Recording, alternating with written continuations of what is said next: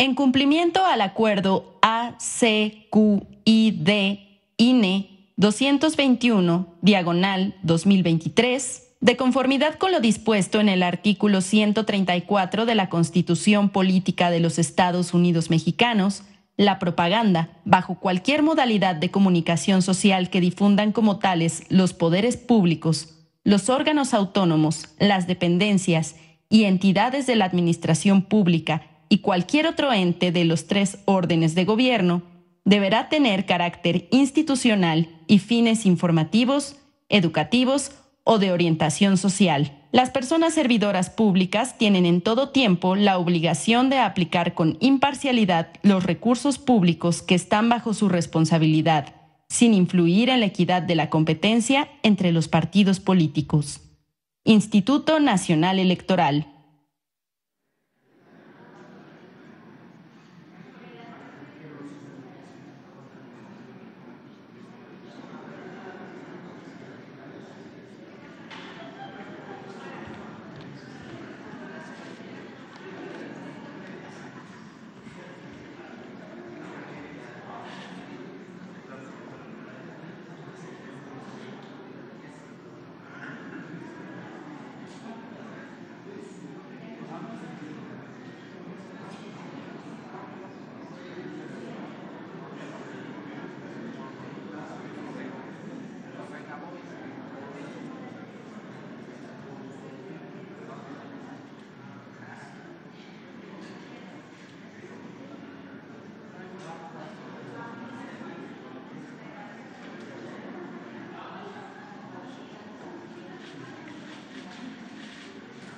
días. Ánimo. Ánimo, ánimo. Ya estamos por entrar a el Guadalupe Reyes. ¿eh? Y este empieza el espíritu navideño están las calles del centro llenas, el centro de la ciudad. Da un gusto porque mucha gente saliendo a sus compras y a pasear al Zócalo, y a ver las luces de los centros comerciales aquí en 20 de noviembre. No puedo decir centros comerciales porque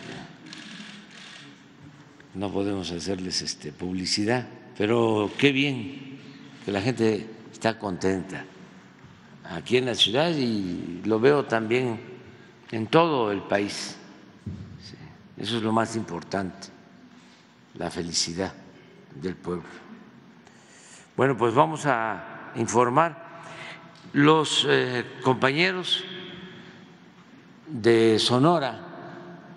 Nos eh, pidieron que se informara sobre lo que estaba haciendo el Infonavit, si mal no recuerdo, en Sonora, los programas que se estaban llevando a cabo. Y acordamos eh, dar un informe general de todo lo que tiene que ver con la Secretaría de Desarrollo Urbano, que dirige eh, muy bien Román Meyer, el maestro Román Meyer, que es el secretario de Desarrollo Agrario, Territorial y Urbano, y de él depende, esta secretaría es la cabeza de todo el sector. Eh, pues Infonavit, Fobiste y también ENNA, que es la subsecretaria, que tiene el programa de vivienda para quienes no son derechohabientes ni del ISTE ni del seguro, la gente más necesitada, más pobre, que también eh, recibe apoyo para sus viviendas para construcción de vivienda, para ampliación de vivienda y mejoramiento de vivienda. y como todavía nos faltan nueve meses, eh, es importante también que se dé a conocer lo que vamos a realizar eh, a partir de enero, que ya se aprobó el presupuesto para el año próximo. Entonces, si les parece, empezamos con Román y seguimos adelante.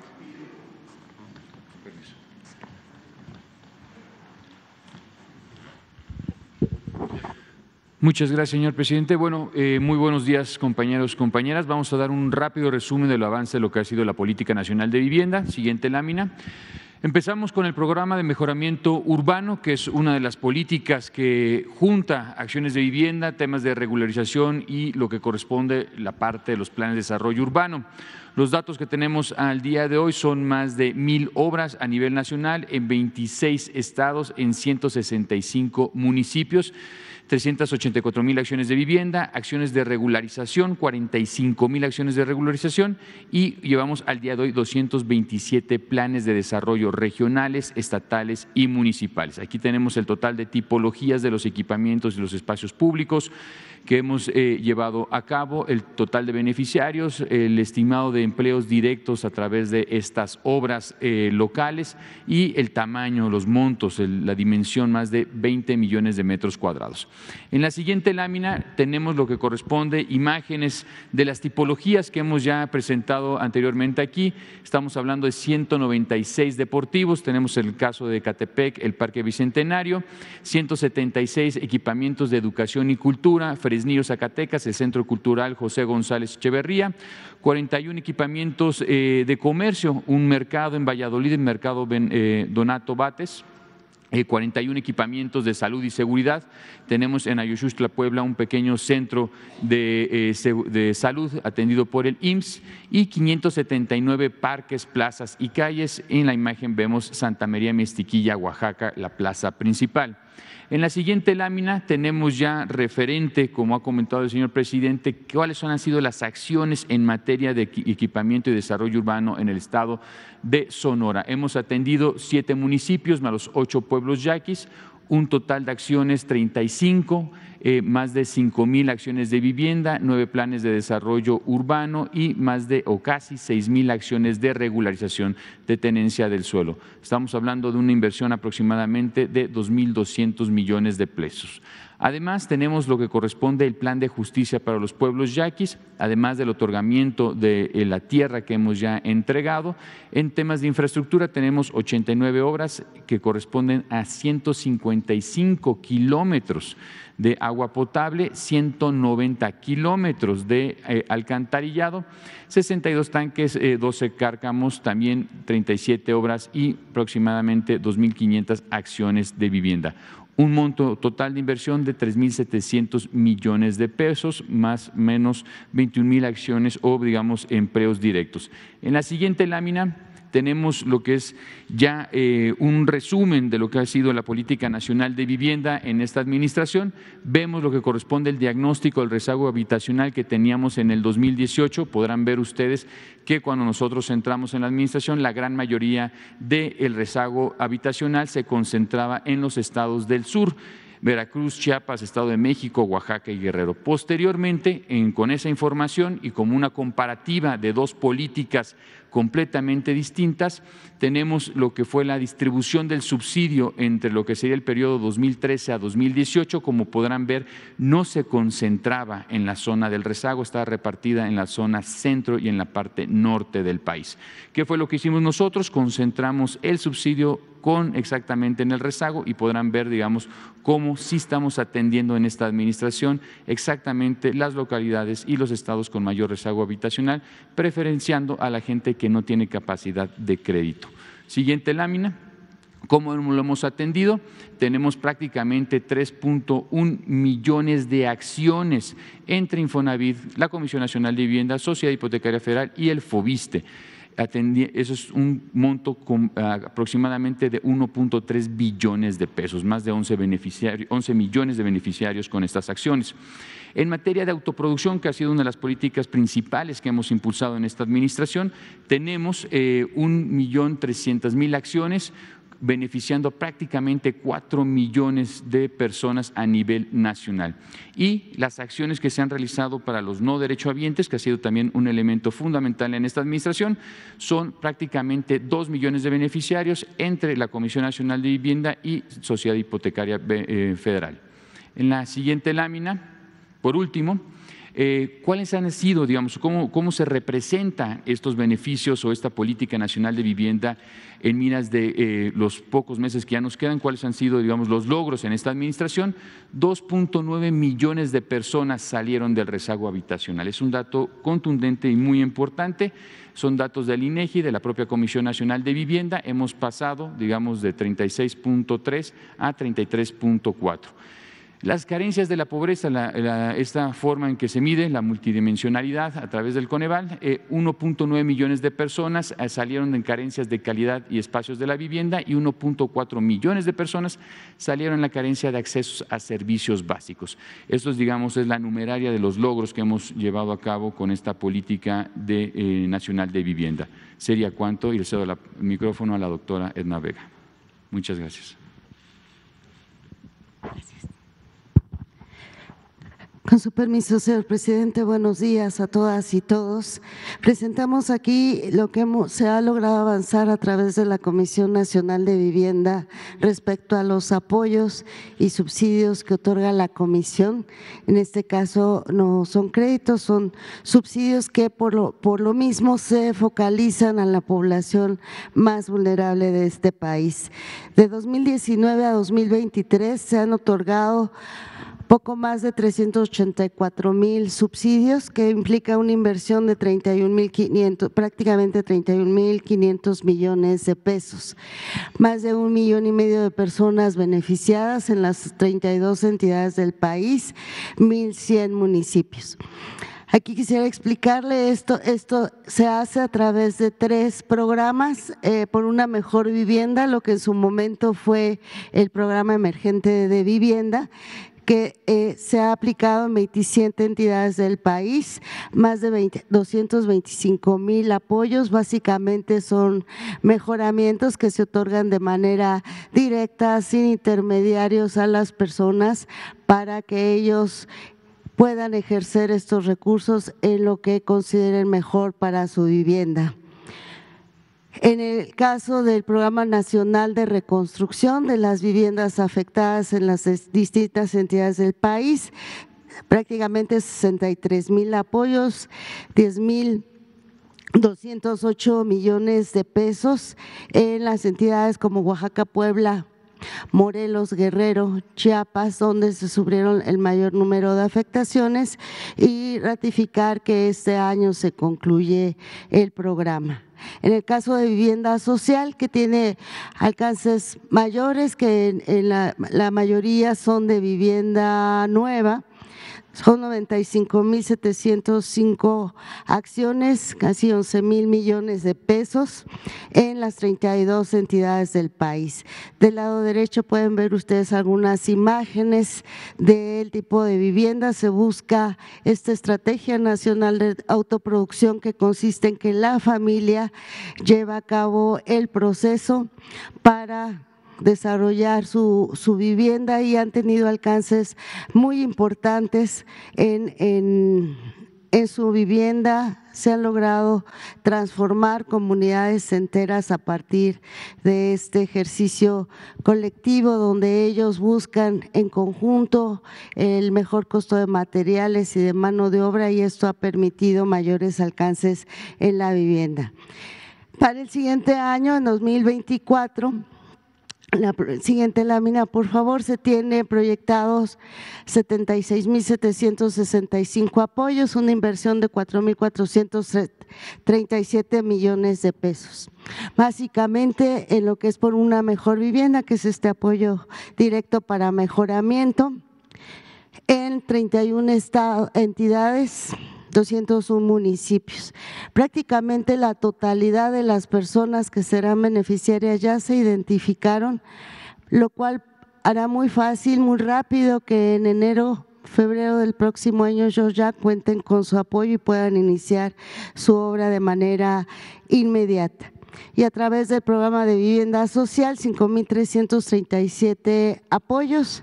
También se han identificado ya al 73.1% de las personas beneficiarias y un número muy importante de ellas se ubican en los proyectos prioritarios del Gobierno de México, en particular para el tren interoceánico, las líneas FA y K, donde se están relocalizando a las familias para que no sean afectadas, sino que se incorporen al proyecto. Finalmente, eh, tenemos en la siguiente lámina las acciones que se han desarrollado en Sonora. Es un número muy importante, 7.844 apoyos prácticamente 1.200 millones de pesos de inversión a través de los tres programas que mencioné anteriormente, por una mejor vivienda, en el programa de mejoramiento urbano que tuvo que ver mucho en las ciudades fronterizas en los primeros años y el programa de vivienda social. Esto es 2019-2023. Para 2024 se proyectan 2.240 apoyos de vivienda y tiene mucho que ver en, el acumulado a la atención a las distintas comunidades indígenas, principalmente yaquis, pero también con guarijíos, mayos, lloremes, seris, y se está atendiendo de una manera muy importante a estas comunidades. Ya prácticamente también para 2024 llevamos un 53% de avance en la identificación de las personas que serán beneficiarias para el próximo año y con esto estamos garantizando que todas las acciones de vivienda con estos apoyos puedan ser concluidas antes de junio del próximo año. Muchas gracias.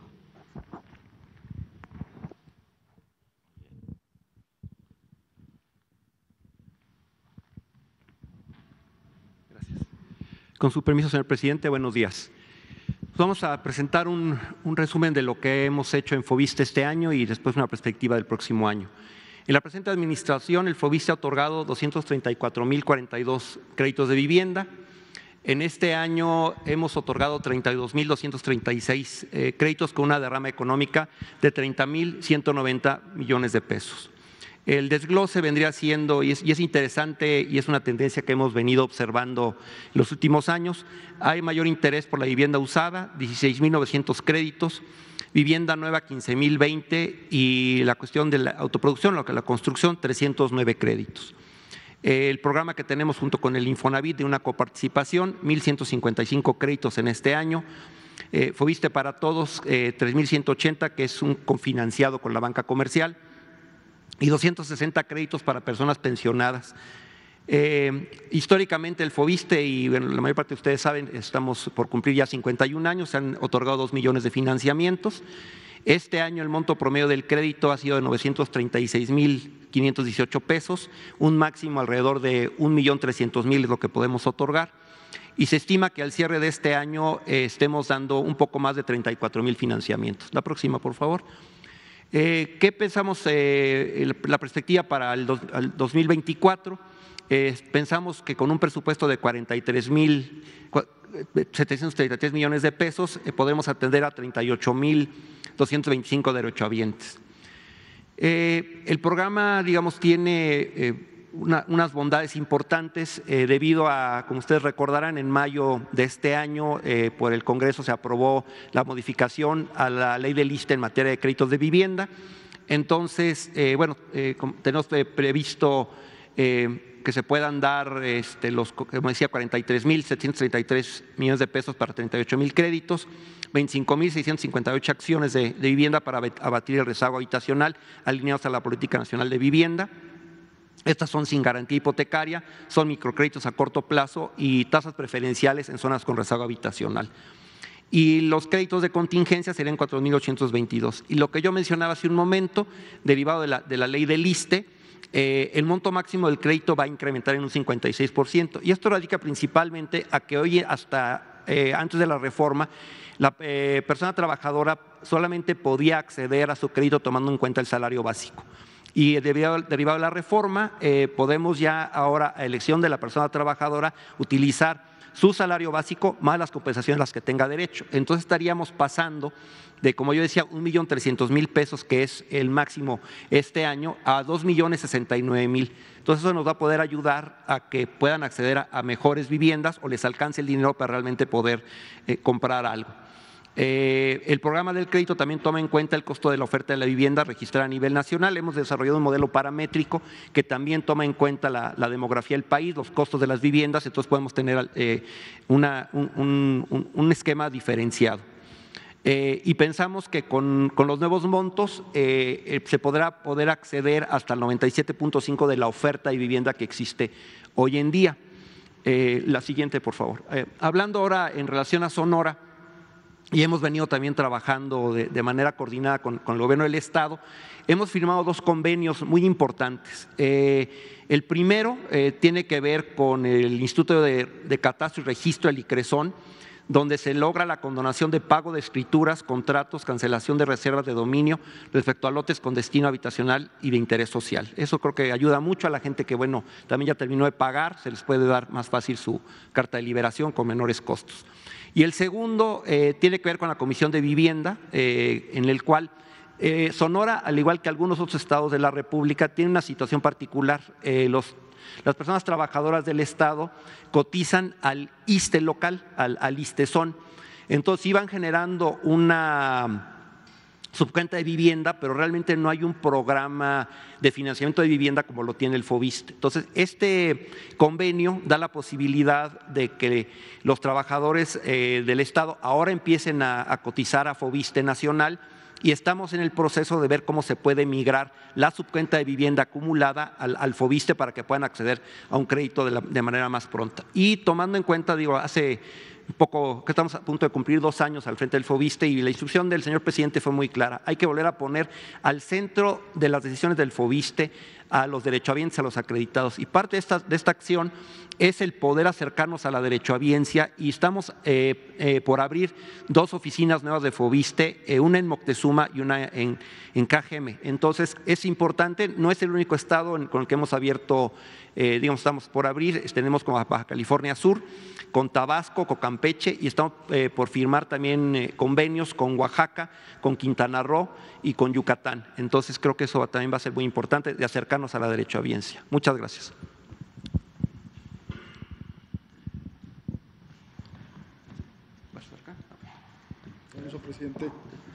Eh, buenos días a todos los compañeros. Eh, informar sobre las acciones del Infonavit. En la que sigue, eh, se ofrecen créditos directos sin intermediarios para resolver las distintas necesidades de las personas. Parte de lo que nos pidió el presidente fue diversificar el Infonavit, hacerlo más flexible y por eso tenemos una gama de créditos que permiten a las personas atender su necesidad de vivienda. Recordarles, porque se trató en este espacio en otro momento, que a partir del primero de enero de 2024 las personas trabajadoras independientes se podrán inscribir de forma voluntaria al Infonavit, cosa que no se podía hasta la reciente reforma que se publicó la semana pasada en el Diario Oficial de la Federación. La que sigue, eh, se han otorgado en esta administración 2.3 millones de créditos en todas sus modalidades y se han generado una derrama económica para beneficio de los mexicanos de 1.1 billones de pesos. En la que sigue, eh, se tiene eh, también para aquellos créditos que se otorgaron antes de esta administración, que eran impagables y que era una queja constante de los trabajadores, se han hecho distintos programas para acabar con esas deudas, acabar con los desalojos y privilegiar los programas de apoyo a la vivienda. Se han reestructurado en esta administración cerca de 4.8 millones de créditos que han tenido beneficios por 172 mil millones de pesos. Y aquí recordarle a las personas que todavía tengan un crédito de los que se sacaron antes de 2015, que están en salarios mínimos, que lo conviertan a pesos para que eh, deje de aumentar ese crédito. Eh, finalmente, presidente, en el caso de Sonora, se han otorgado eh, a la fecha 12.550 créditos este año, pero además estamos trabajando con el gobierno del Estado para actualizar o crear los planes de desarrollo urbano municipal en Cananea, Cajeme y Bacadehuachí.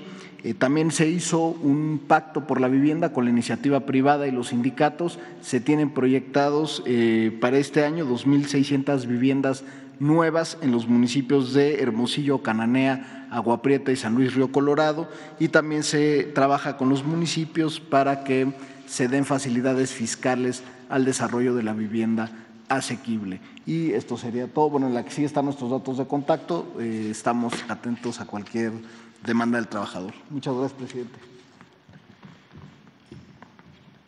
Bueno, pues ya cumplimos con el compañero. ¿No vino ahora? pero ya los atendimos. Es que ayer fue a la izquierda, vamos a la derecha. Ya parezco centro yo, ya, este, ya me están contagiando los moderados. Este, ¿A dónde fue ayer? Ah, entonces empezamos. Buenos días, presidente. Celsin Juárez, de Celina MX. Eh, presidente, el día de ayer se desató polémica en redes sociales por la detención del doctor Alfredo Jalife por una denuncia interpuesta en la Fiscalía de Nuevo León por difamación por la exsecretaria de Economía, Tatiana Cloutier. Nada más preguntarle su opinión al respecto y tengo otro planteamiento. Bueno, pues ya eh, lo más importante es que se liberó a Jalife, estuvimos pendientes hasta en la noche para que se procurara su libertad. Tiene que ver con un Estado, tiene que ver con la Fiscalía Estatal o Procuraduría de Nuevo León, pero eh, tiene que ver también con un derecho constitucional, con el artículo sexto y séptimo, la libertad de las ideas. Y eso pues también nos atañe sino de manera eh, directa, o no nos corresponde a nosotros resolverlo, sí tenemos que garantizar la libre manifestación de las ideas, que no haya censura. Pueden haber excesos, pero eh, no debe delimitarse la, la libertad. Podemos no estar de acuerdo con lo que se expresa, pero debemos de garantizar el derecho a manifestarnos libremente. Eso es lo que puedo decir. Ya pasó. Este, cada quien que haga eh, sus eh, conclusiones. yo estimo a los dos que estaban o están en este asunto. A Tatiana la quiero muchísimo, mucho, mucho, mucho y a Jalife también.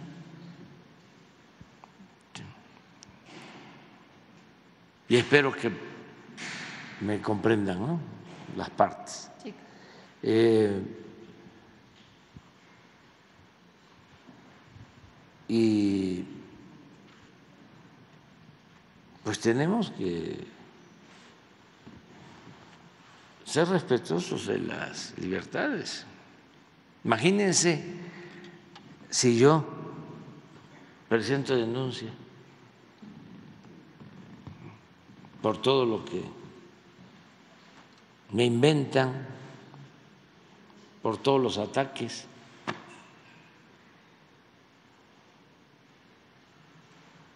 Claro, cada quien tiene su criterio y hay que respetarlo. Hay quienes dicen,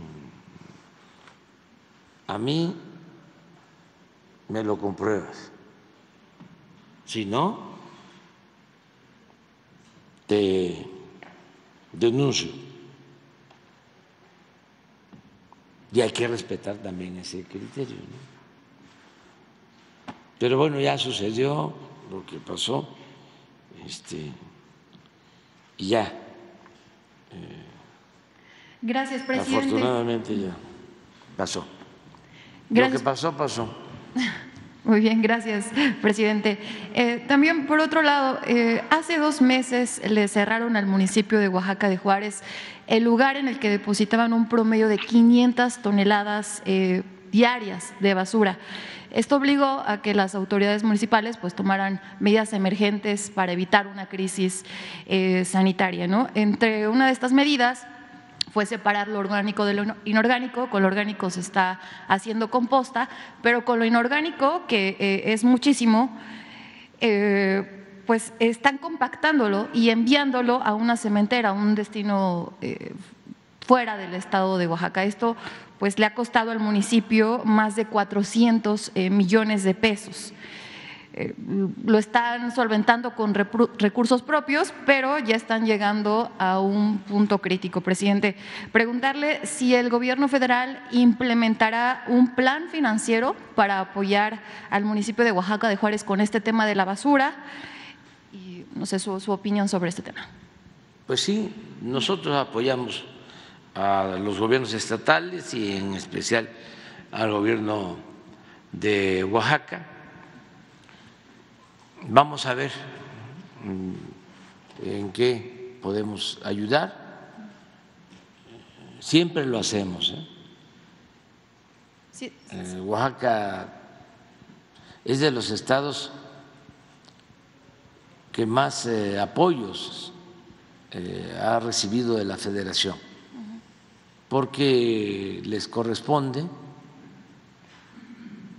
y porque son muchos municipios, es eh, el quinto o sexto estado en territorio en el país. Eso a veces no se conoce. Yo creo que, quinto, eh, en territorio Oaxaca es quinto o sexto quinto, ¿sí? y em, tiene bastantes necesidades en todas sus regiones y estamos ayudando y lo vamos a seguir haciendo. ¿Usted se compromete a ayudar al municipio con este tema, específicamente la basura? Sí, sí, este, nada más que nos hagan el planteamiento. Eh, ahora, por ejemplo, estamos ayudando para que todos los niños de Oaxaca, todos, tengan sus uniformes.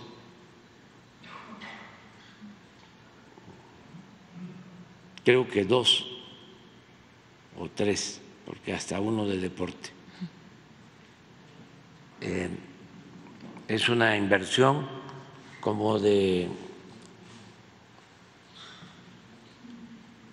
más de 400 millones.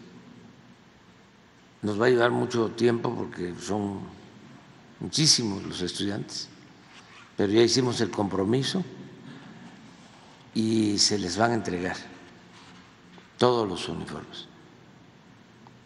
Ese es un apoyo al gobierno de, de Oaxaca, desde luego a las familias. Y así vamos a seguir ayudando. Gracias, presidente.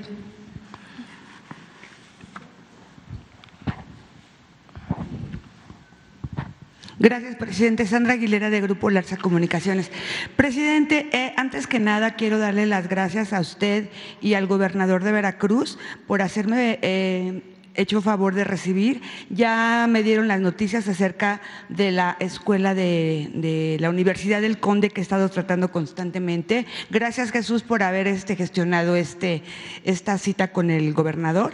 Y bueno, me dijeron que realmente ya cerraron, bueno, ya les quitaron dos reboes, que ahorita una de las escuelas no tiene a ningún estudiante y la otra escuela eh, ya no puede aceptar a ningún estudiante. Les llevé 50 carpetas de bueno, números de carpeta de investigación de todo el país, donde los médicos que han salido de esas maestrías han matado a las personas y me dijeron que con esas eh, denuncias lo que van a hacer es dárselas al Poder Judicial para que no les puedan dar el amparo que solicitaron para tener el tercer reboe que es con el que podrían entregar las cédulas profesionales. Entonces, bueno, quedamos en eso, ya les entregué las, las cédulas, perdón, las carpetas de investigación y todo va avanzando. Esperemos que, que el Poder Judicial se dé cuenta de que están haciendo daño estos maestros anestesistas. Y ahorita estamos esperando en el Senado que aprueben la ley de que solamente pueden eh, operar los cirujanos plásticos, que ya está en proceso. Me dijeron que eh, esta semana o la próxima semana la votaban. Por otro lado, presidente, quería decirle que, bueno, me, se han acercado a mí empresarios eh, que estuvieron trabajando con Walmart. Sabemos que usted tiene muy buena relación con, con los directivos de Walmart, que hace cinco años eran proveedores de Walmart. Sin embargo, hubo, bueno, dentro de los requisitos que tenían era pues darles eh, a los compradores una cantidad de dinero. Entonces, pues ellos cumplían con lo que tenían que dar. Sin embargo, llegaron los directivos de Walmart Estados Unidos, se dieron cuenta de esto y despidieron a estos compradores. Sin embargo, también a los proveedores los quitaron y hay muchas empresas mexicanas que no están siendo contratadas por Walmart, sino ocupan empresas de, Estados Unidos o de otros lugares. Y bueno, me hacen la solicitud que si usted les pudiera pedir que pues que los tomen en cuenta nuevamente porque es una, una empresa muy grande donde ellos pueden reactivar su economía. Eso es con respecto, eh, respecto a, Walmart, presidente. Y por otro lado, presidente, estuve en la FIL, en Guadalajara, donde, em, bueno, hubo muchas conferencias y muchas presentaciones de libros y estuvimos en, bueno, iba a haber una presentación de un libro que se llama El amo de Jalisco, de Ricardo Ravelo. Sin embargo, eh, la cancelaron porque el gobernador no lo permitió. Entonces también prohibieron la venta de sus libros. Eh, esto se llevó a cabo y bueno, ahorita no está a la venta en, ningún lado. Entonces, bueno, me pedían eso, ¿no? hablando de la libre expresión que no pudo, no pudo, no pudieron presentarlo. Y usted ha, recibido también, o han escrito libros en su contra y pues no ha pasado nada porque pues usted sí permite la libre expresión. Y bueno, esa es una parte que le mandan decir que, pues que gracias. Y estuve también en el stand de Cuba de Cuba, de Venezuela, porque fue pues muy grande, muy internacional, donde le dan las gracias a usted porque ha permitido que se expresen y que la cultura de todos los países pueda estar presente y que pues en pocos países se puede hacer, sobre todo en un país como es el de Cuba. Y le mandaron un libro, presidente, dicen que ven las mañaneras en, en Cuba, que usted es muy querido allá y me dijeron que si se lo podía dar personalmente para que lo vieran todos los cubanos. ¿Me lo permite? Gracias. Gracias, presidente habla de Fidel. De hecho, quien lo escribe es uno de los escoltas de, Fidel Castro. Entonces, pues bueno, aquí está el libro. Gracias, presidente. sea completo. Y le mandan una notita. Muchas gracias, presidente. Y bueno, eso es todo, no sé si. Muy bien. No, vamos a, ver eh, ¿Qué hacemos con los eh, proveedores? Lo de Walmart, que nos entregues la, información con. Jesús y a ver si este, les ayudamos.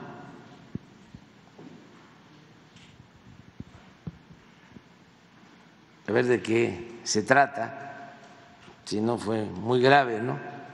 El caso, o fueron ellos este, utilizados, sí, y, y no deben de ser este, marginados. Entonces lo vemos. Muy bien.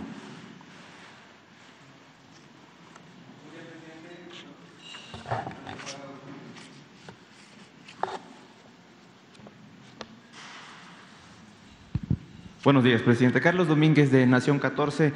Eh, el mes pasado, en noviembre, se llevó a cabo en Tampico, Tamaulipas, la 29 Asamblea Plenaria de la Conferencia Nacional de Secretarios y Secretarias de Seguridad Pública. En esta asamblea, la, secretaria, titular de la Secretaría de Seguridad Ciudadana, Rosa Isela Rodríguez, destacó los avances en materia de seguridad que desde la llegada del doctor Américo Villarreal han este, disminuido en el Estado, señor presidente preguntarle si puede ahondar un poco más en, cuáles fueron estos delitos que disminuyeron, que han disminuido en la entidad en estos 12 meses de la administración del doctor Américo Villarreal y su opinión sobre a qué se deben estos, estas disminuciones significativas que destacó la titular de la Secretaría de Seguridad Ciudadana, presidente.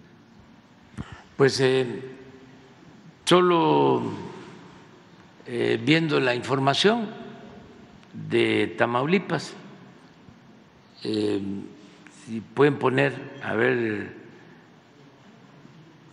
lo de Tamaulipas,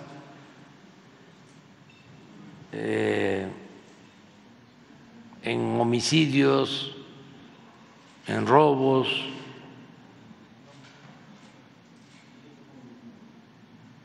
para ver qué dicen los datos. ¿no? Desde su perspectiva, presidente, ¿ha habido mejoras en seguridad en el Estado? No tengo eh, información así eh, a detalle.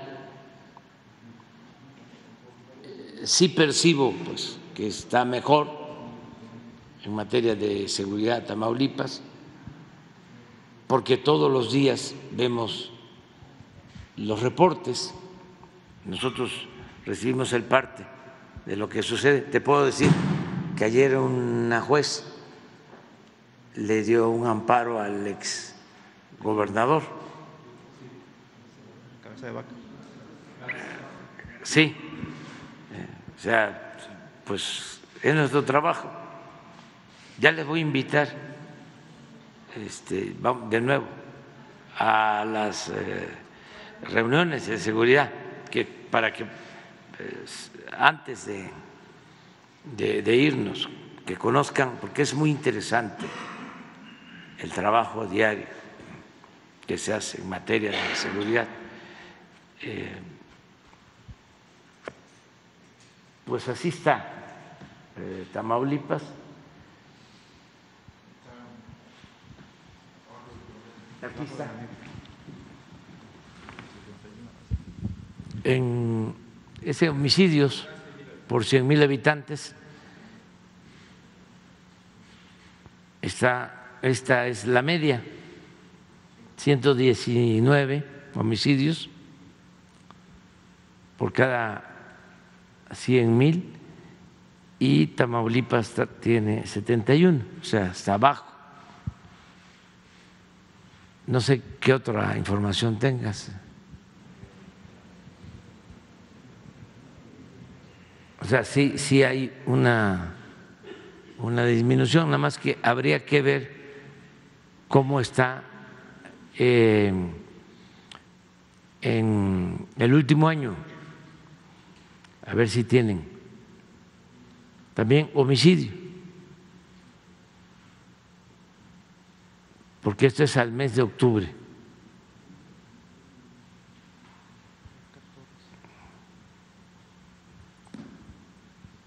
Sí hay eh, mejoras.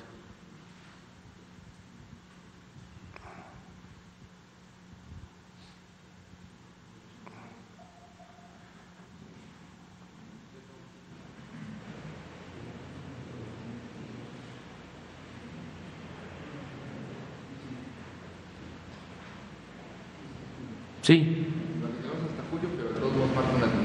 Sí, esta es la tendencia. Sí hay, mire.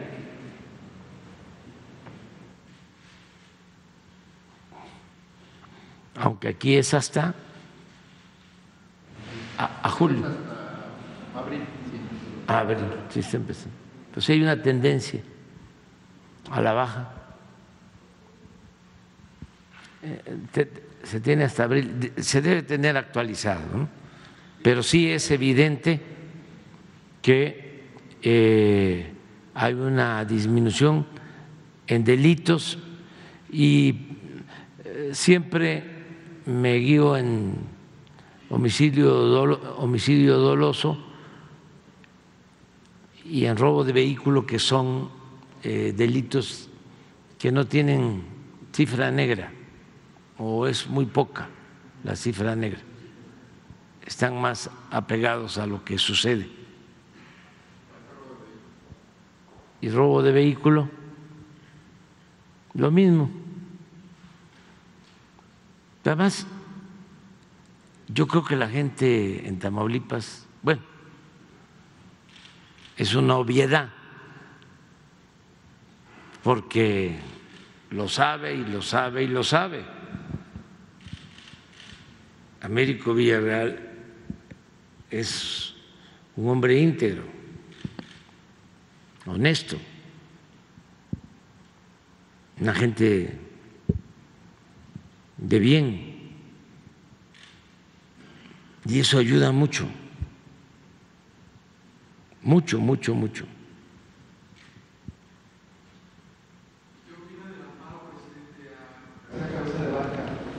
Pues es el asunto de los jueces.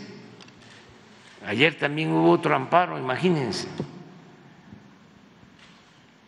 de que eh, se habían prohibido los vapeadores y ayer ya quitaron el amparo. Y el argumento o excusa es de que se afecta la libertad de comercio. Ponen por encima el mercantilismo de la salud del pueblo, de los jóvenes.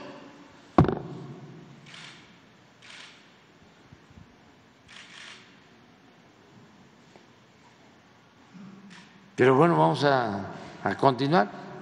Presidente, este, atendiendo todo esto. Regresando a la pregunta pasada, ¿descartaría usted que Tamaulipas continúe siendo un estado violento como en administraciones pasadas? Yo creo que vamos a seguir avanzando para eh, reducir la incidencia delictiva en Tamaulipas y en todo el país.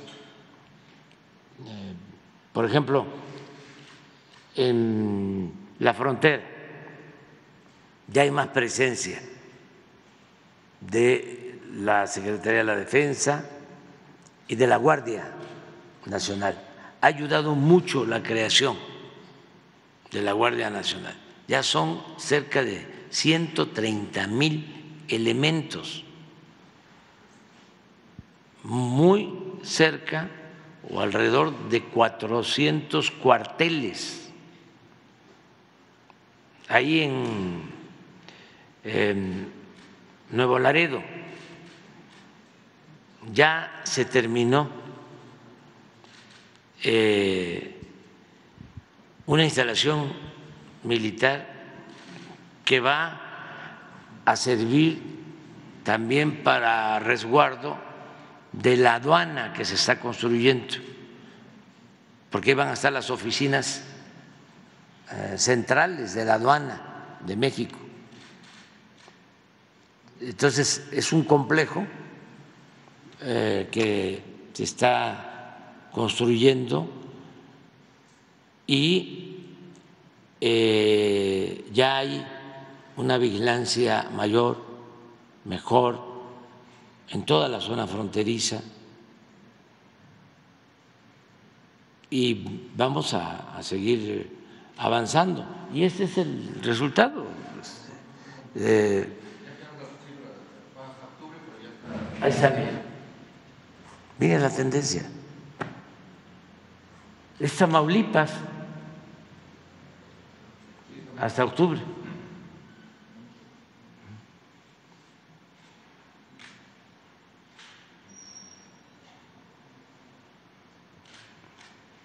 Es una disminución considerable en homicidio.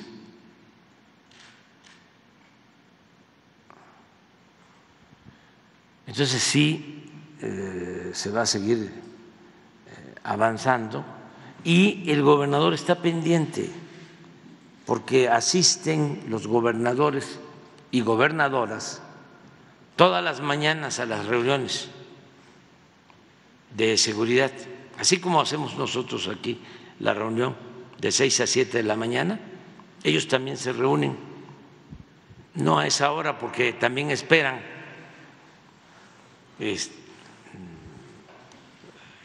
que nosotros terminemos si hay alguna indicación en especial, pero hay gobernadoras, gobernadores un día vamos a presentar aquí este, la asistencia de gobernadoras y gobernadores a las reuniones diarias. Hay unos que casi tienen el 100% y hay unos que están a la, a la cola del venado. Este, mandan representantes. La reunión se hace en todos lados, pero hay reuniones en donde sí está la gobernadora, asiste el gobernador,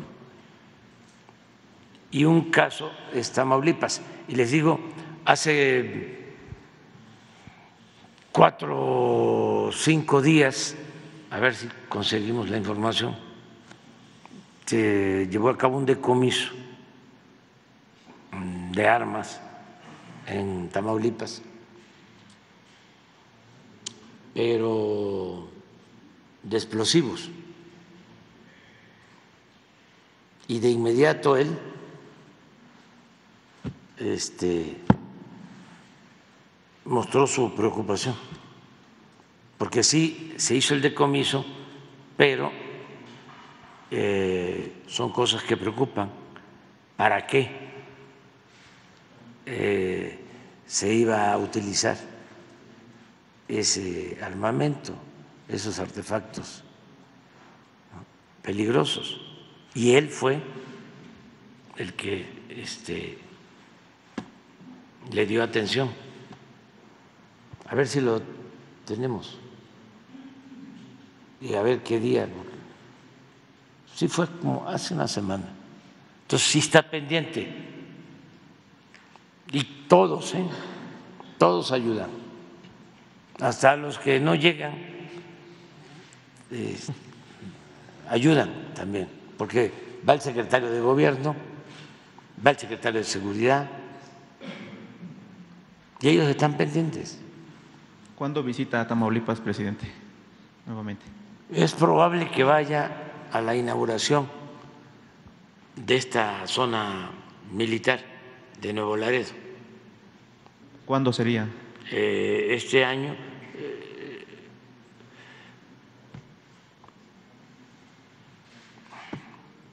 tengo eh, pensado nada más, el 15 inauguramos el tren, el 16 tengo que estar en Monterrey ya para la inauguración completa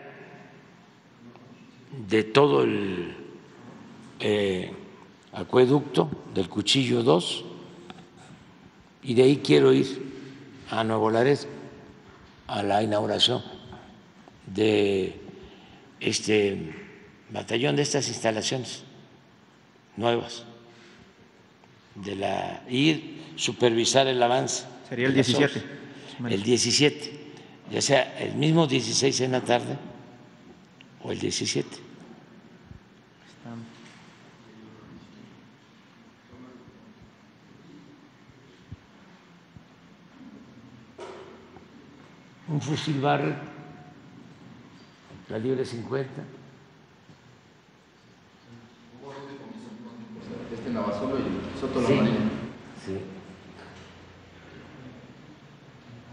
Pero eh, es otro de explosivos.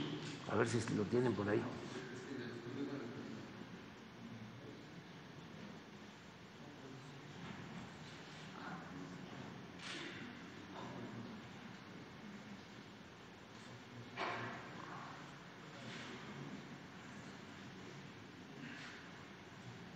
Es, bueno, es parte. Pero incluso creo que fue posterior al 2. A ver.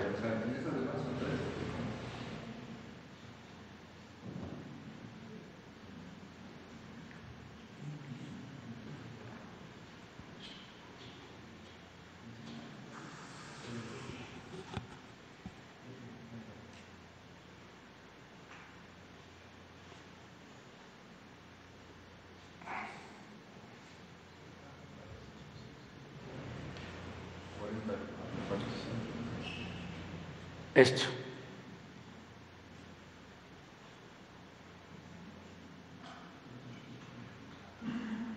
Sí, explosivos.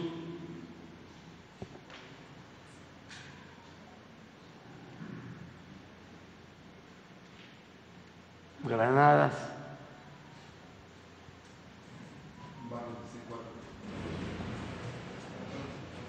Sí.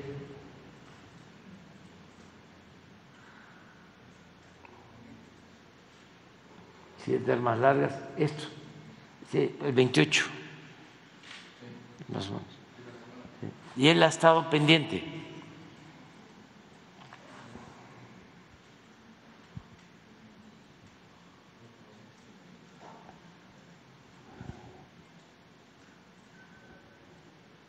El blindaje artesanal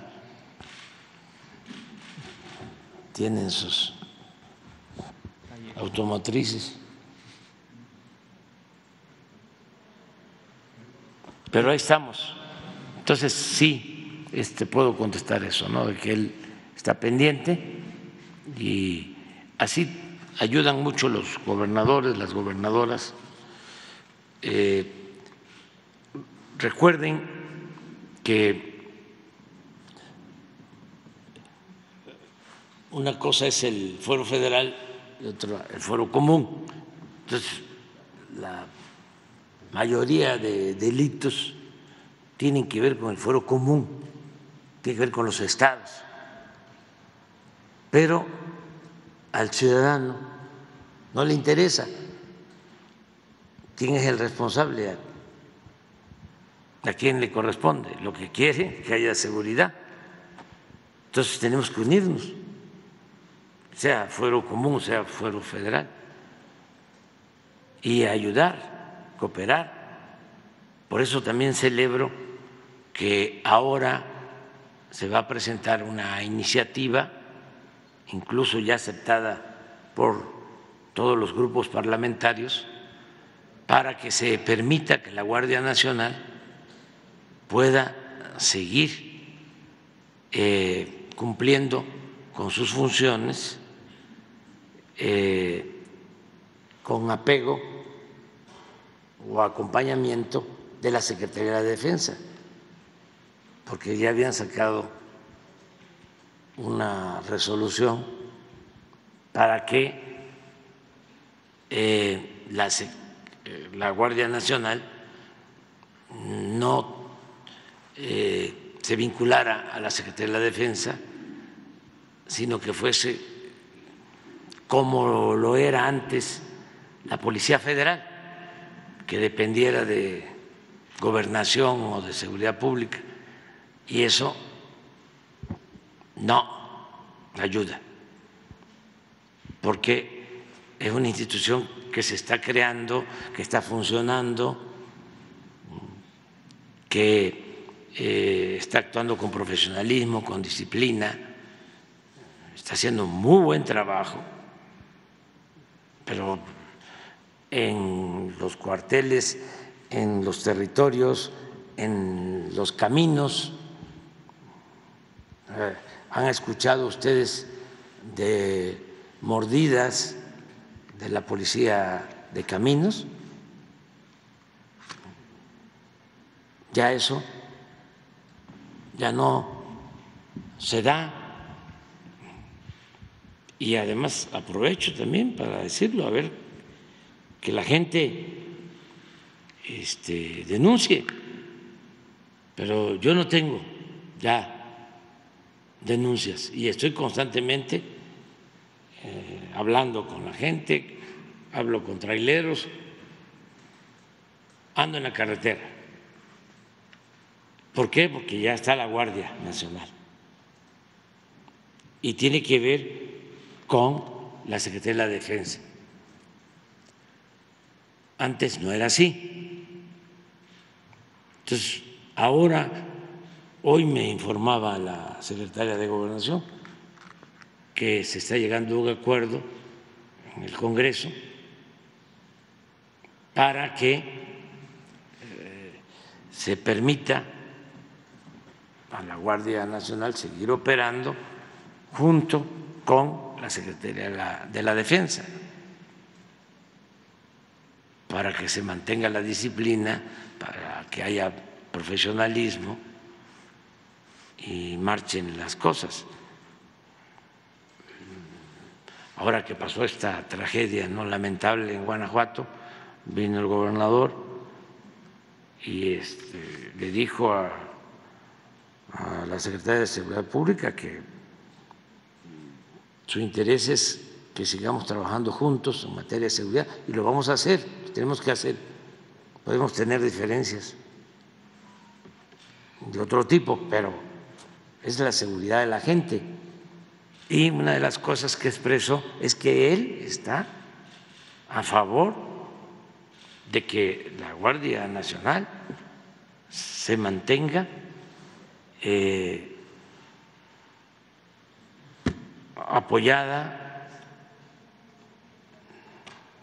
dependiendo de la Secretaría de la Defensa. Eso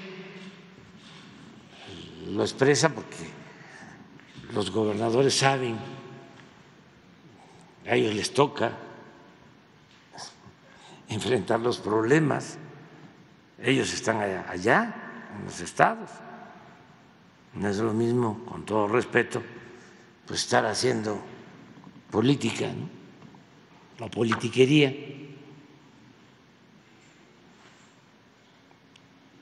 que tener una responsabilidad. Ahora que lamentablemente se presenta lo del huracán en eh, Acapulco, que eh, puede hacer la policía municipal, la policía estatal, ante una tragedia de esas dimensiones, si no es con el apoyo. Hay 26 mil elementos de Marina, de Defensa, de la Guardia Nacional,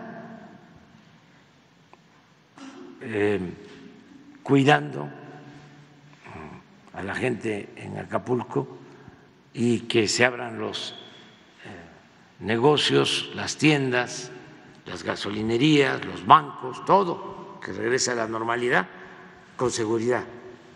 Pero eh, hay más de 10 mil elementos de la Guardia Nacional en Acapulco y se van a quedar ahí.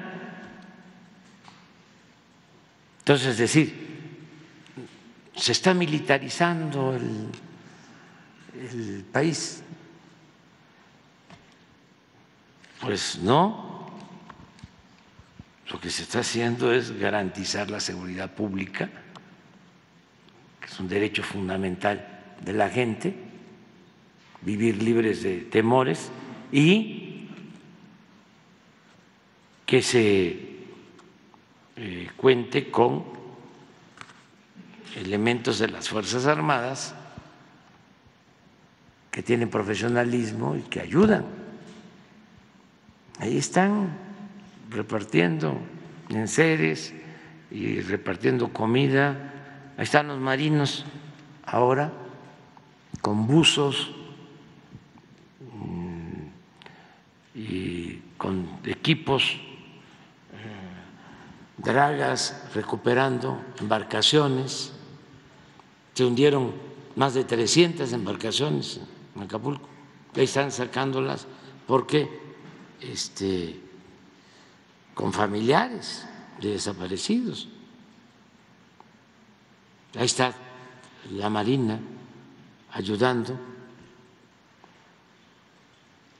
Entonces, eh, sí se va avanzando y es un trabajo conjunto, todos los gobiernos. Bueno, les ponía el ejemplo, hablaba yo de Guanajuato, del gobernador, estamos ayudando en todo lo que podamos, todo, este, porque pues es nuestra responsabilidad. Ok, presidente. Eh, cambiando de tema, me gustaría preguntarle, eh, señor presidente, ¿cuál es su opinión sobre el nombramiento eh, de Mario Delgado Carrillo como el coordinador general de la precampaña de la Coordinadora Nacional Claudia Sheinbaum? ¿Y cuál es su opinión también sobre cómo ha trabajado al, frente de Morena desde que llegó hasta el momento, señor presidente? No pido de eso, no. Ya no. Ya les dije que además fue muy cuestionado otros nombramientos, pero este sí es más importante. Ya le dije que yo ya entregué el bastón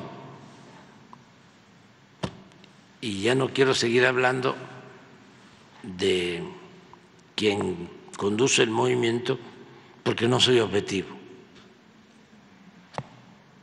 ¿Pero considera que ha sido buena su gestión al frente de Morena, de Mario Delgado? No me quiero meter en eso. Ya no este, quiero hablar no quiero este, que utilicen como pretexto, ¿no? El que estoy yo aquí apoyando. Además, no soy, no soy objetivo, quiero mucho a la coordinadora, a la de la coordinadora de maestros.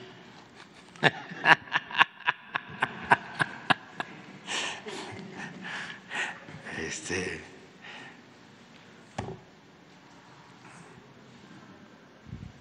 adelante ustedes.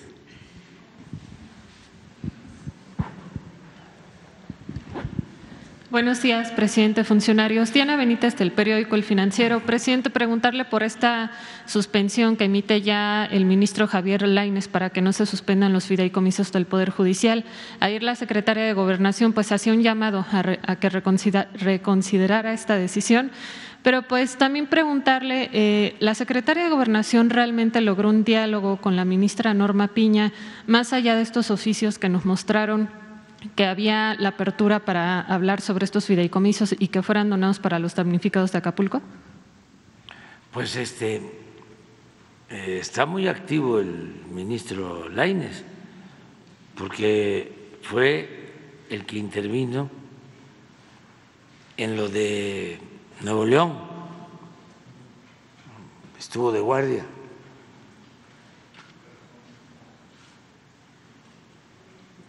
intervino en esto de los fideicomisos para que no devuelvan el dinero. los integrantes del Poder Judicial. Y también intervino ayer en lo de los vapeadores. O sea, está bateando arriba de 300.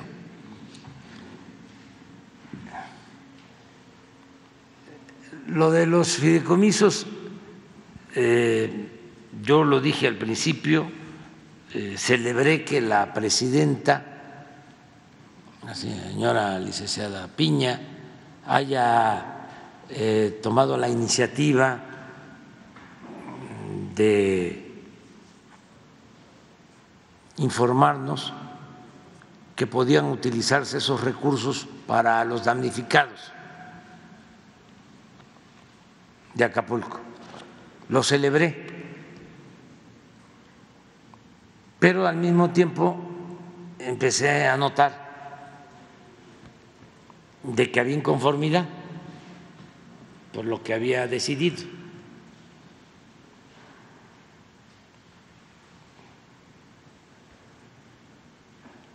Y a los pocos días un amparo y luego otro. Y ahora ya un ministro eh, deja sin efecto lo que había planteado la presidenta originalmente. Me envió un oficio, está por escrito, incluso hasta los representantes del Congreso se sumaron y estaban de acuerdo. ¿Qué pasó? ¿Por qué cambiaron de parecer?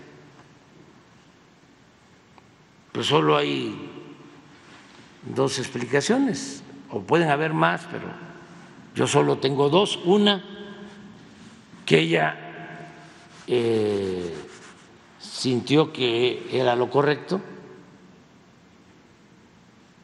destinar esos 15 mil millones que no les afectan en lo laboral, que no dejan sin salarios, sin prestaciones a los trabajadores, que eso quede aclararlo, que es un fondo ahí para garantizar privilegios que tienen que ver con sueldos elevadísimos y con otras prestaciones. Bueno, pues eh, Creo que ella pensó que era un momento de decir que ese recurso, que ya el Congreso, la Cámara de Diputados, que tiene facultades, decide que se devuelva la tesorería, pues ella plantea, estoy de acuerdo, y que se etiquete para que se ayude a los damnificados de Acapulco. Hasta ahí iban bien las cosas. Entonces, decía yo que son dos cosas. O ella simuló y nada más fue salir al paso y al mismo tiempo alentó lo de los amparos o sea, el doble discurso, la doble moral, la hipocresía. O lo otro es que fue sometida a fuertes presiones de los mandamás, porque una cosa son los cargos formales y otra cosa es el poder real.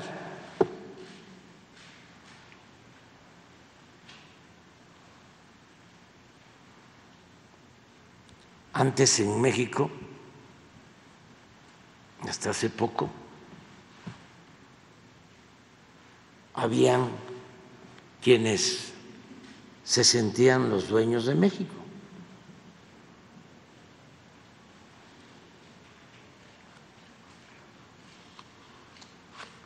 Los dueños de México, porque eran los que mandaban en el poder legislativo, en el poder judicial, desde luego en Hacienda, en el Ejecutivo. Eran los jefes. Tan es así y esto para los jóvenes, que no voy a dejar de insistir en que revisen todas las reformas que se hicieron a la Constitución en el periodo en que dominaban México estos oligarcas.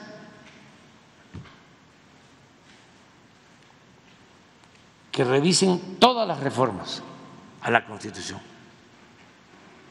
y van a encontrar que todas las reformas que se hicieron a la Constitución fueron para legalizar el saqueo, el robo, en beneficio de una minoría. No hay una sola reforma en 36 años en beneficio de la mayoría del pueblo. Todas fueron para beneficiar al grupo de oligarcas que dominaba, mandaba en México. Entonces,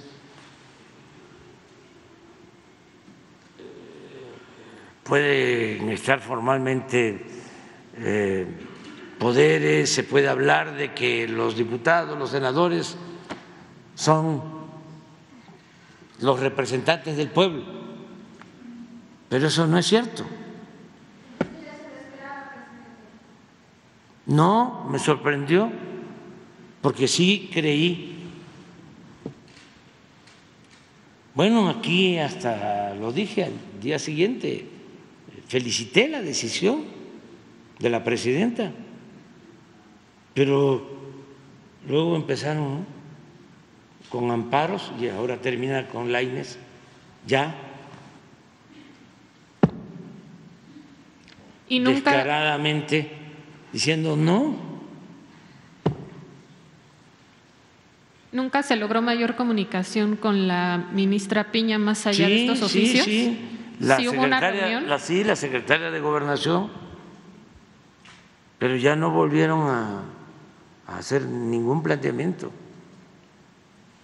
De cualquier manera, no afecta esto a- al apoyo que se va a dar para Acapulco. O sea, no, se dependía de ese dinero. nosotros tenemos recursos. Ayer estuve en Acapulco, ya vamos bastante avanzados en el plan de reconstrucción. Ya estamos a punto de terminar de limpiar todo Acapulco. Ya pues está prácticamente restablecido el sistema eléctrico. Hemos entregado diariamente despensas, canastas básicas.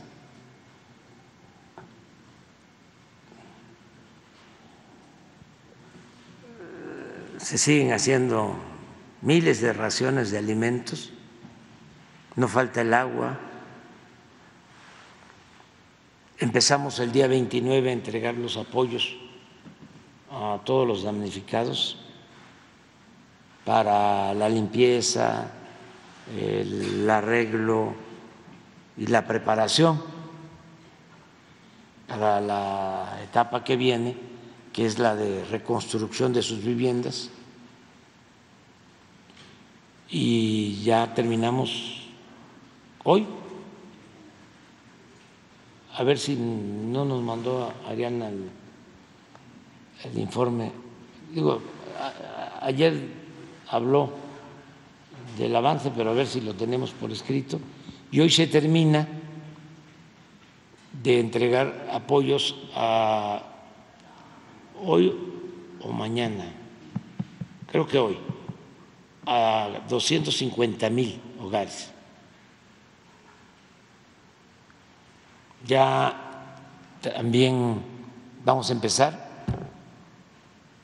Mañana o el sábado a entregar ya los apoyos para la compra de materiales y el pago de maestros, albañiles a las personas.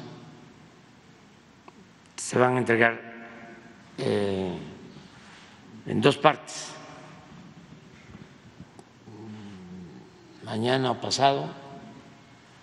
Empezamos a entregar la mitad, espero que terminemos como para el 23 de diciembre y la otra mitad inicia entonces el 23 con los que se les entregó primero para ver si terminamos el 31, los 250 mil. Y ya llevamos también bastante avance en la compra de los eh, electrodomésticos, de los enseres. Todavía está ya en China Alicia Bárcena. Ahora tengo que hablar con ella porque ya es de noche allá, ¿no? Pero este, nos comunicamos, pero ya se están cerrando contratos. Miren, hasta ayer 214 mil viviendas y 1.758 millones entregados de manera directa.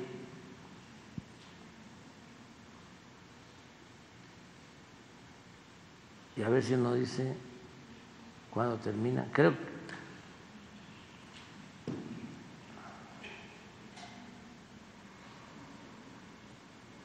Creo que terminan hoy. Sí, porque sí, sí. Si ya tienen 214, esos hoy van a llegar a los 250, si no mañana. Entonces, terminando, empiezan a entregar ya la mitad del apoyo a las familias. Ahora fueron 8 mil pesos, pero va, pregúntale, en promedio van a ser como 35 o 40 mil pesos. Lo que sigue se va a entregar en dos partes. Ya se hicieron también las guías de autoconstrucción, nos ayudaron los ingenieros arquitectos. Este, hay brigadas técnicas, desde luego mi abrazo fraterno a todos los servidores de la nación, porque no solo son los de Guerrero, están de todo el país trabajando allá en situaciones difíciles, eh, que son los que están visitando los hogares y ayudando en la asesoría para la construcción. Y hay algo que quiero aprovechar para decirle a los acapulqueños, eh, Hicimos un censo, ya les expliqué, por eso hablamos de 250, 270 mil eh, viviendas afectadas y nos encontramos que solo la mitad tiene escrituras. Fíjense. Pero tienen posesión, viven ahí desde hace muchísimo tiempo.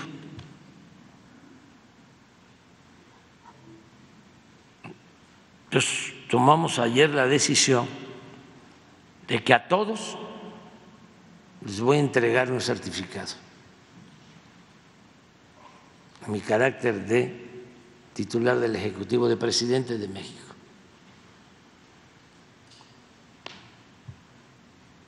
Una vez que terminen, ojalá y lo hagan pronto, Sí pueden, ¿eh? Porque van a tener los recursos.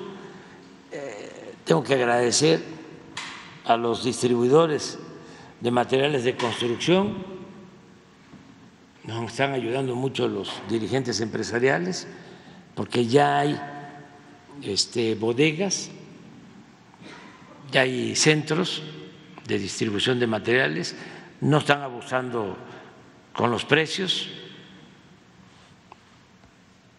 ya hay vidrio suficiente que no había y otros materiales.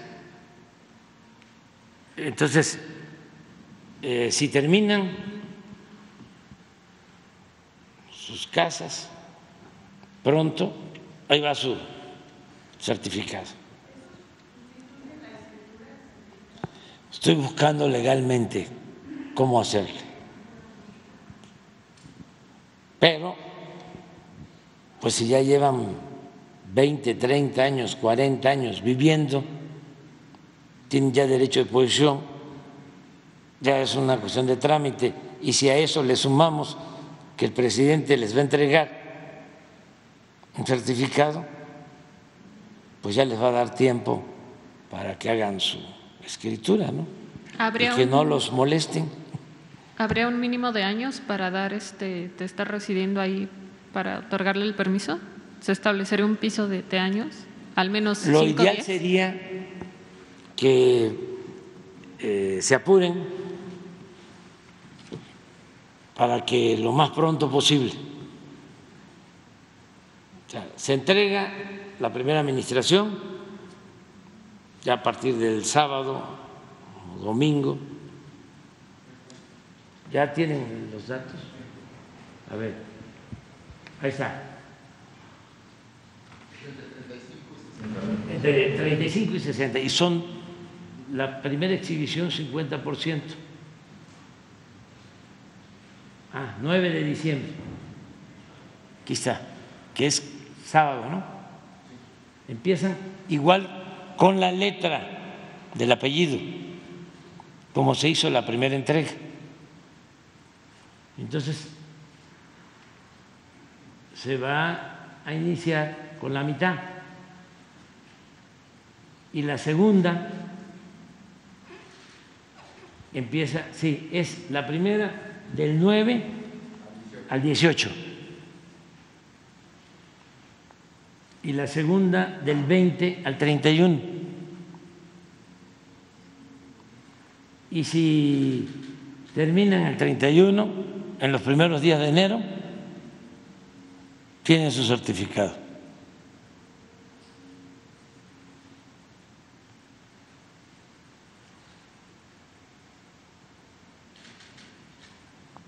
Y es un esfuerzo, ¿no? Pero es gente muy luchona muy trabajadora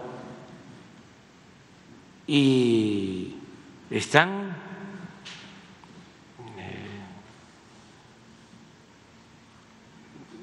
trabajando toda la familia y ya este, tenemos como un 26%, 28% de escuelas en donde hay clases y eh, eh, vamos a trabajar para rehabilitarlas todas, son más de 300, son de las prioridades que tenemos. Voy el próximo miércoles y voy a ir en 15 días, también el miércoles, pero ese día vamos a... Eh, hacer allá la conferencia. Vamos a hacer la reunión de seguridad y la conferencia en Acapulco. Sí, el 20, para que lo tengan presente. Presidente, en un segundo tema, ayer Dante Delgado, líder de Movimiento Ciudadano, pues anunció que se termina con este bloque de contención que se había hecho con la oposición en, en, el Congreso. ¿Cómo observa esta actitud de Movimiento Ciudadano? ¿Esto daría los votos, por ejemplo, para que Berta Alcalde pueda ser nombrada como ministra? Y si abriría la posibilidad para que usted adelante las reformas constitucionales que tiene pendiente o se mantiene en la idea de esperar a que se renueve el Congreso para enviarlas si es que se tiene mayoría solo con, con la banca de Morena. Bueno, yo pues, respeto las decisiones que se tomen en los partidos. Nosotros tenemos ya un plan para que las iniciativas que voy a enviar se presenten en el mes de febrero. Las vamos a presentar. ¿Las tres? ¿La de judicial, la de la Guardia Nacional y la electoral? Sí, sí puede ser que la, la Guardia antes, pero la eh, judicial, el plan integral para que eh, se puedan elegir que el pueblo elija a los jueces, a los magistrados, a los ministros, toda la reforma al Poder Judicial, eso en febrero. Y también antes de, irnos, eh, eh, en ese periodo, voy a enviar el que se eleve a rango constitucional el derecho de los discapacitados, porque no está. Tenemos eh, el derecho constitucional de adultos mayores. Eso sí está en la Constitución. Está en la Constitución lo de el derecho de los estudiantes de familias pobres a recibir una beca para el estudio y el derecho a la salud, a la gratuidad en la salud. Pero nos falta lo de el derecho de discapacidad, o sea que la pensión que estamos entregando se convierte en un derecho. Ya se está haciendo. Ya en la mayoría de los estados es universal. Nada más hay que dejarlo eh, elevado a rango constitucional para que esté quien esté no lo puedan quitar. Y eh, quiero también eh, incluir un añadido para la rehabilitación, porque lo hemos dicho en otras ocasiones, es importante la pensión para discapacitados en recursos, en dinero, pero hace falta la rehabilitación porque hay muchas discapacidades leves que se convierten en grave porque no se atienden por falta de dinero y por falta también de atención médica especializada. Por eso tenemos este acuerdo con los centros de rehabilitación del Teletón, se dan unas becas para que niñas, niños puedan asistir a estos centros, eso es muy importante, porque no hay los suficientes. Y eh, se puede que una niña, un niño con una discapacidad menor se corrija completamente. Si no tiene atención, al contrario, se agrava y se vuelve discapacidad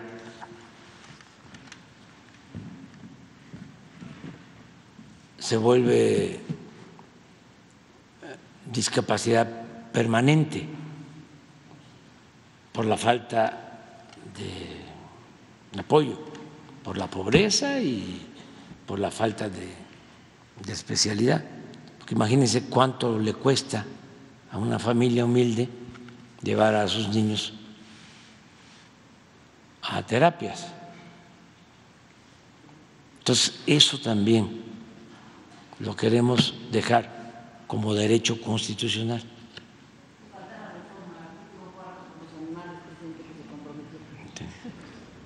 ¿Y la de la Guardia para cuándo quedaría? ¿Mm? La, de la Guardia y la electoral serían también para febrero o las aguantaría sí, La electoral también para febrero, sí, para febrero.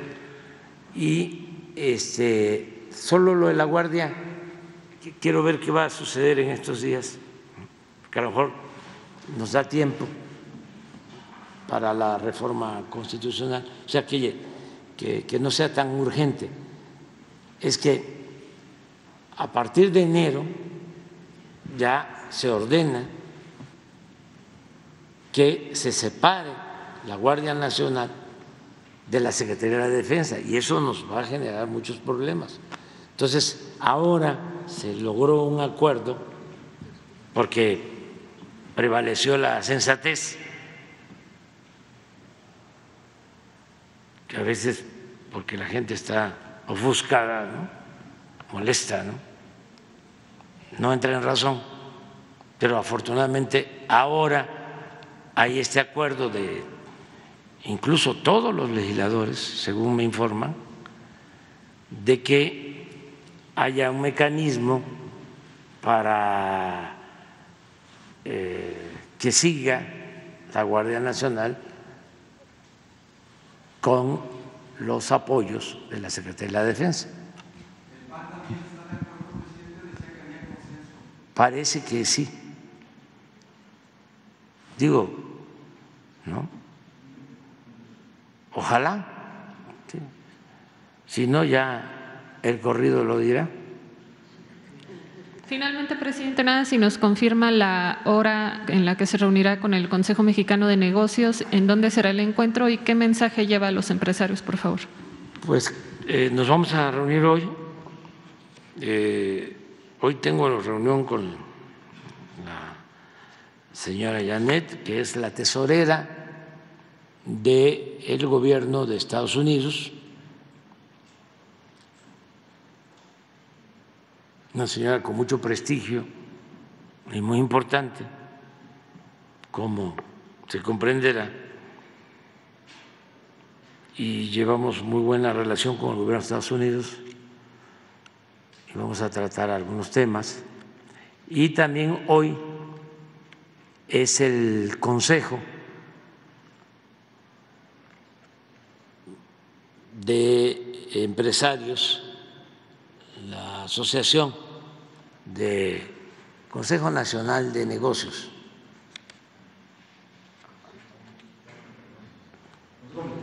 Consejo Mexicano de Negocios, donde están pues, empresarios muy importantes de México, es como una cúpula empresarial, y me invitan. Vamos a tener una comida de trabajo. Creo, no sé, pero sí, sí, siempre, siempre es eh, aquí por la Alameda.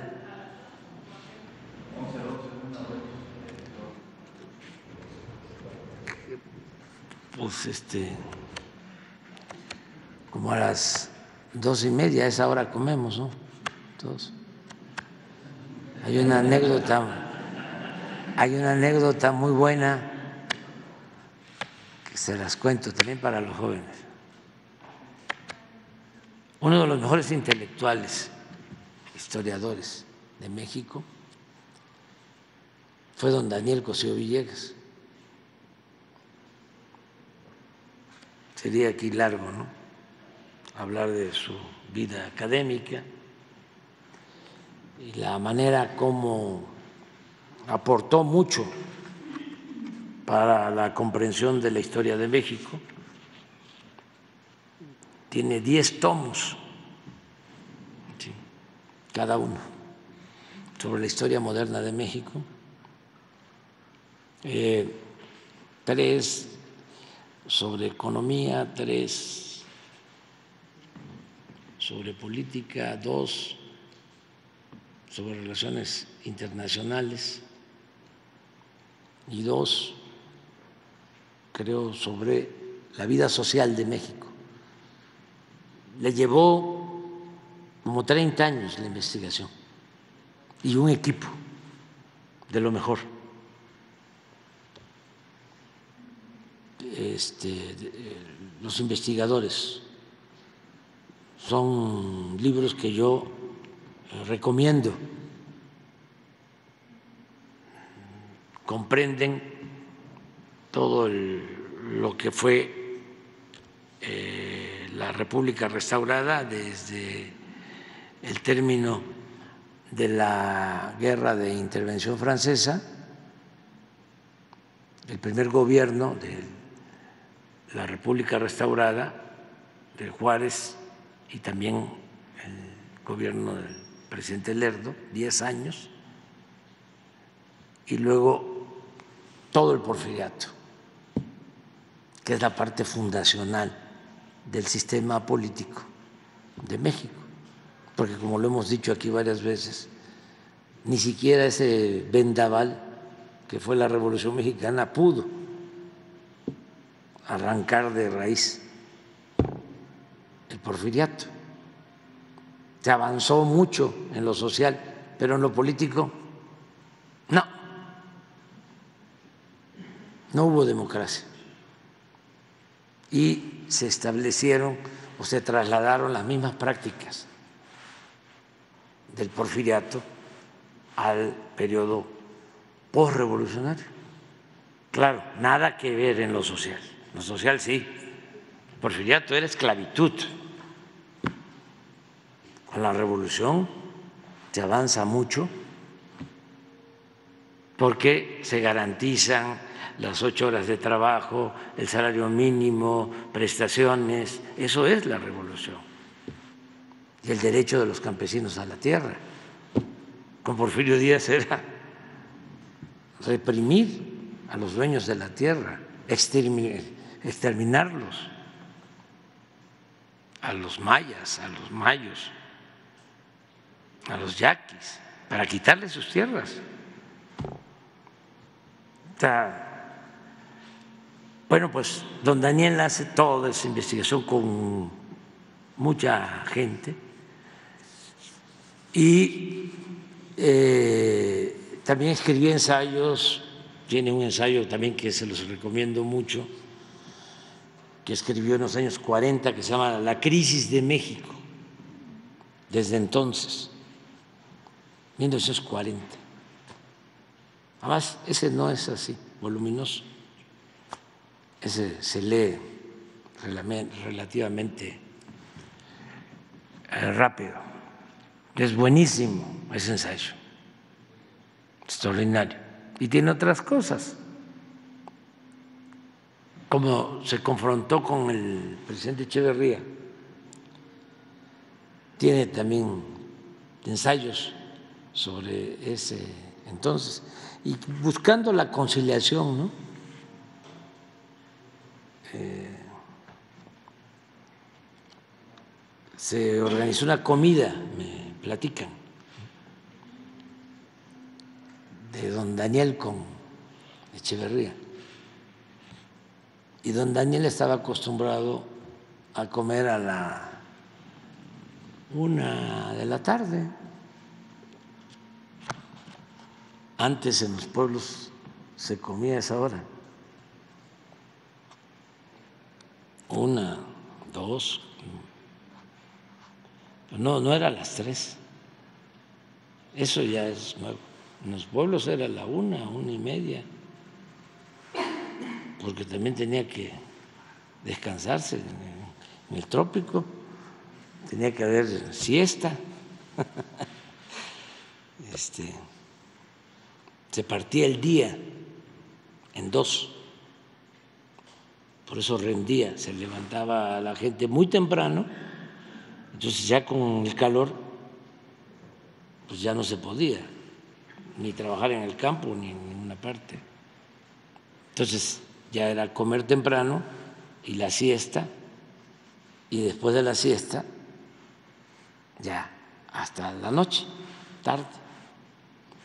Se partía el día, era muy sabio, se descansaba bien. Entonces pues, ya cambió. El caso es que dijo Echeverría que iba a llegar a las 3 de la tarde y don Daniel dijo, pues yo estoy acostumbrado a comer a la una. Me va a perdonar el presidente, pero no lo voy a esperar. Son costumbres. Entonces, ya cuando llegó el presidente, pues ya, ya había comido. Era gente eh, que tenían la arrogancia de sentirse libres.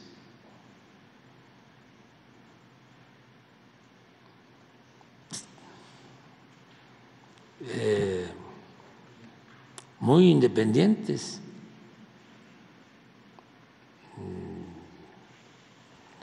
Así quisiéramos ahora los intelectuales. este, libres, libres, libres. Y además con mucho trabajo de investigación, es que ya no hay investigaciones.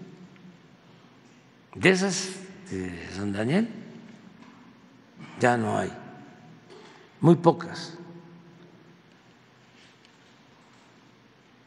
Las ciencias sociales están muy apagadas. Yo espero que vayan este, renaciendo, ¿no? Y ya está sucediendo, porque hicieron mucho daño, como todo, ¿no? Con la política neoliberal, cooptaron a los intelectuales, se volvieron negociantes los intelectuales, se volvieron ricos. Y cuando un hombre se entrega o una mujer por entero a la mentira, pierde hasta la imaginación y el talento. El que se corrompe, ya, se le va la lucidez.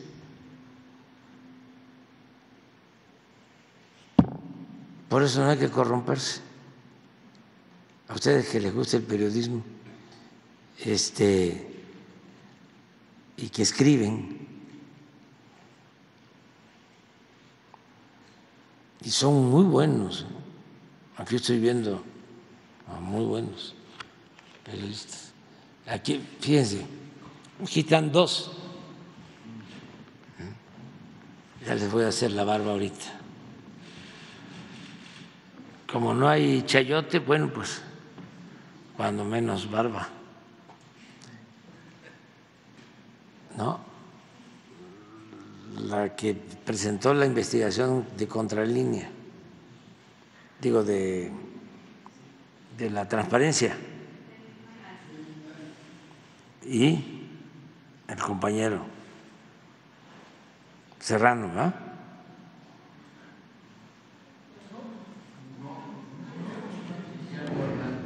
Guillermo, tú también trabajaste, ¿no? Pero es otro medio. Sí, perdón. Sí, pero trabajaron los dos. Ah, pero aparte. Sí, los dos, ese es un trabajo importantísimo de investigación, porque es desenmascarar. O sea, ¿cómo este, quienes se hacen cargo de la transparencia solicitan ustedes que les entreguen información y no la otorgan, la reservan, la niegan. Y entonces ustedes hacen la investigación, la consiguen. Es apasionante también, ¿eh? es extraordinario eso. Eh,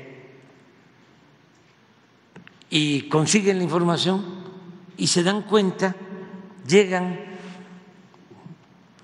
a demostrar que las tarjetas de crédito, ¿no? American Express, no cualquiera, American Express, de puro machuchón, este, las usaban para ir a los bares, ¿no? Sí, pero no me gusta decirlo mío, ¿no? Este, a los bares, ¿no? Y todo con cargo al presupuesto, a costillas del erario. Sí, con dinero del pueblo. Los encargados de la transparencia. ¿Qué tiene que ver la transparencia? Pues mucho es el manejo honesto de los recursos. Y miren el ejemplo que dan ellos. Pero ustedes no este, trabajan, ¿verdad?, en los medios convencionales. No, ¿verdad? Pues es, es lo nuevo, es lo nuevo. es lo que se está este, dando a conocer,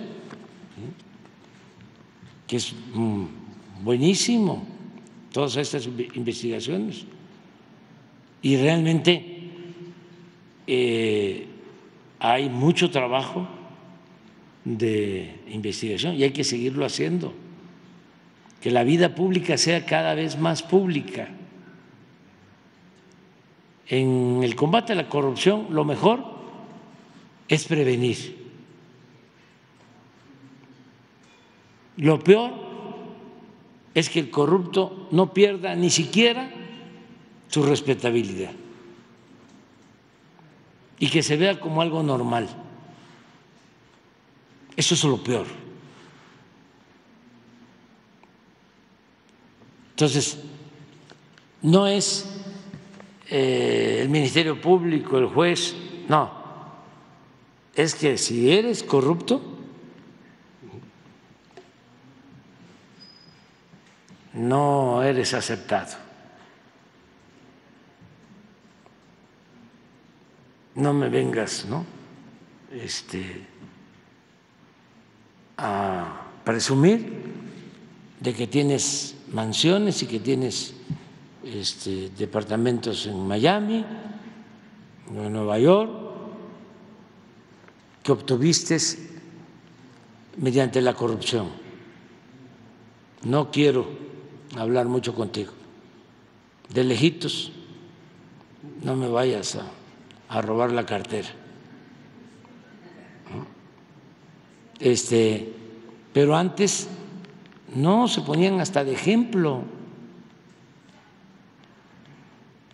Apúrate, estudia para que cuando seas grande seas como don fulano. Y este, todo eso ha hecho muchísimo daño. Bueno, tanto que por eso la monstruosa desigualdad que existe, ¿no? porque unos cuantos se quedan con lo que pertenece a todos. La corrupción es lo que más ha dañado a México.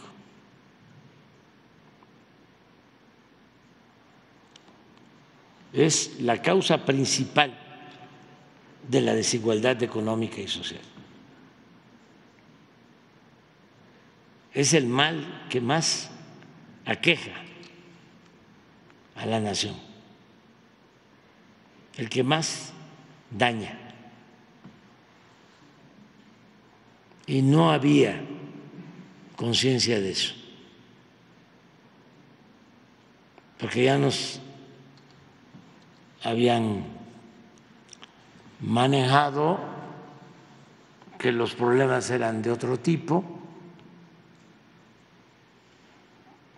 llegaban a decir que el problema era la educación, la calidad de la enseñanza, por eso tanta preocupación por la prueba PISA.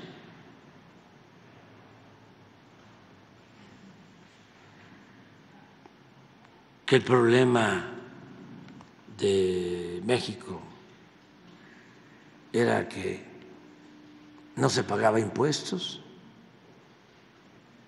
o que no pagaban impuestos los vendedores ambulantes. Y así una retaíla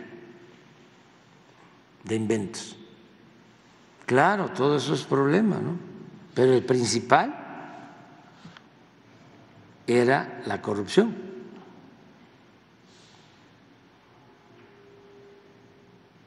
Ese era el principal problema. Por eso el enojo ahora de muchos, ¿no?